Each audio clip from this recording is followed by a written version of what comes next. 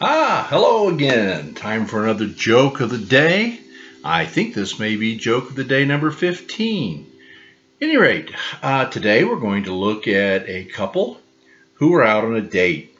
Um, a rather naive young man was out on a date with an attractive young lady, and uh, at the end of the evening, they decided to drive out to a lookout point that was on a hillside over a lake and looked out over the city lights. Beautiful setting.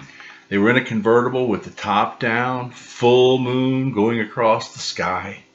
Beautiful evening. They could hear the night sounds of the chirping of insects and other and tree frogs and so forth. And uh, they could hear the bullfrogs down in the lake. It was just a wonderful time. Soft music was playing on the radio, and he leaned over and snuggled up close to the girl and put his arm around her shoulders and pulled it pulled her tight. And and they were sitting there taking in the stars and the moon and the city lights and the beauty of the reflection on the lake and the wonderful sounds that were coming through the air and the soft music on the radio. And the young lady began to feel romantic and it was obvious this young man was not going to attempt a kiss. And so she decided she would give him some prompting.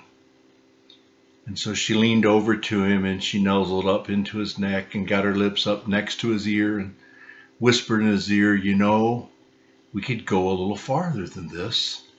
And so the boy said, All right. And he put the car in gear and drove off in the lake. so I hope you enjoyed it. Talk to you again in a day or two.